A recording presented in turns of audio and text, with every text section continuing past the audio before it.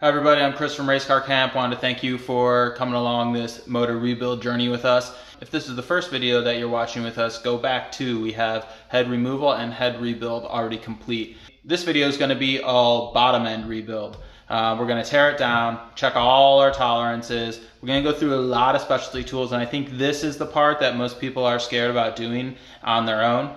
I'll link you to all the specialty tools that we're using here. It's probably about $300 in total to do the whole motor. Now these are entry level tools, they're not master mechanics, but we're building a street car motor. We're not building a ridiculous track monster. Uh, for 90% of the people who may be watching this video, that should be more than enough. First up is tear off of a very, very dirty oil pan.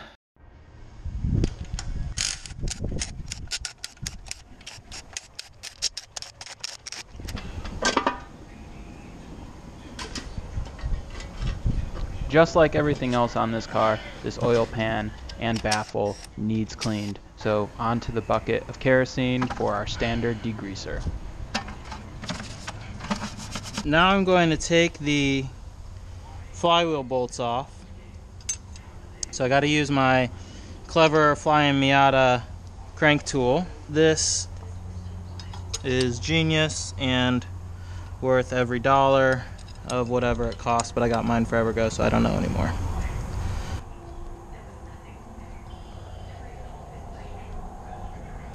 If you plan ahead, you can take your flywheel off before you put it on the engine stand. I have three motors in my garage right now, so that wasn't as easy for me to do, so I got to fish the flywheel out from the back. Now that that's off, I can come back into the garage and just begin to take off the accessories on the front.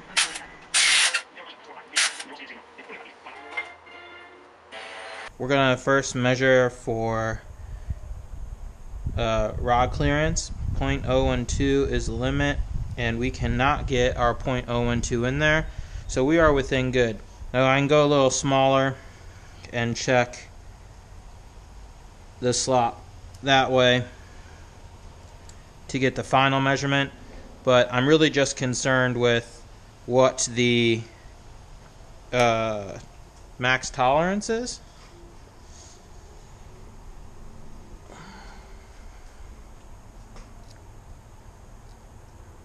And we're good. Just like the head, we're going to use some specialty cardboard to keep ourselves organized. So now we'll take the connecting rods off. There's not a whole lot to this either. 14 mil is pretty much the whole motor. We're going to do front, rear, one, two, three, four. Do all these a half turn first.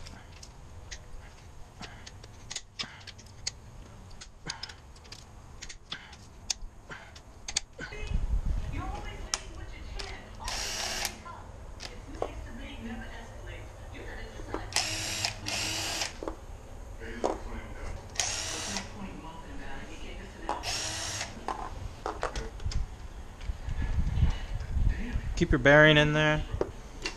Careful not to score the crank. Drop it out. And then each one is marked. You see the mark. This is two. And then the dash mark will line up uniquely. And then two, and that's so that you don't lose it. The rings actually don't look too bad on this. I'm slightly surprised. All our connecting rods are out bearings are out. You see a little bit of scoring on one, which isn't great. Uh, actual crank looks okay, and we're going to put new bearings in, so that will be good. Um, next, we're going to check crankshaft play. Um, the service limit is 0.012, which is about to there, and we're well under half of that. So we're at one, two, three, four. We're about 0.004. So that is. Uh, absolutely fine, good standard limit, um, nothing that needs adjusting, which is good. So next, we'll take the caps out and the crank out.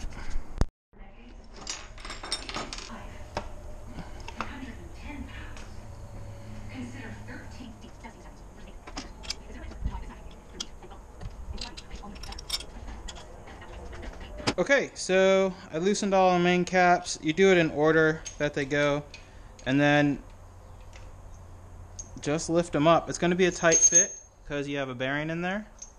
And then again, front to back. Try not to drop the bolt like I did. And you'll notice as well that they have an arrow facing the front and sometimes they'll be marked by which order they went in at. Mine are not marked, so I'm just going to do a score um, of each one to mark its location. So, like, this was one, this is two, this is. Oh, that one has a stamp three. Oh, I wonder if it's just too dirty. They may actually be stamped. Mine are just too bad. Four, and then this is five, but I can make it out as well. So that's it. I'm going to take each one off, and then out comes the crankshaft.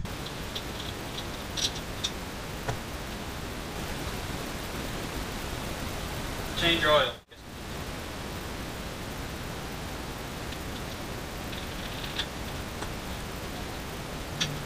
If this weren't still attached.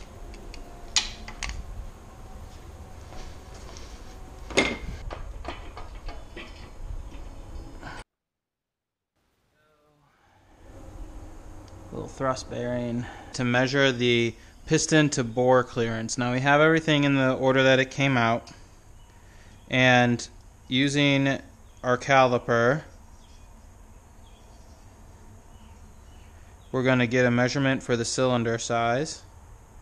Be sure you're taking this below that scuff ring. We'll zero our gauge, see what size we're dealing with here. The nice thing about working with this style caliper is that you don't have to use another feeler gauge. We're going opposite jacket to opposite jacket. So now we have our size. Piston to bore clearance standard is 0.0016 to 0.0020. And we're at about 16 thousandths, right at the low end of good. So that's good. Wash, rinse, repeat for each piston. Now we're going to check the crank with the micrometer. Be very ginger as you don't want to mar anything up. We are at 1965, 19661. So we're right inside that. We're perfect. Check the next one. 19664. So again, we're good. 19665, so we're good. 19666. 19664. That's all good. Now the connecting rod 1.769. 1.769, so we're good. 1.768, 1.768, 1.769. Okay, so we are good. All our in-spec measurements on the crank bearings, the play, the piston clearance, all of that means that we get to rebuild this motor with OEM sized bearings. We don't have to order anything special, we don't have to overbore anything, and it means we get to move right along in the next video with assembly.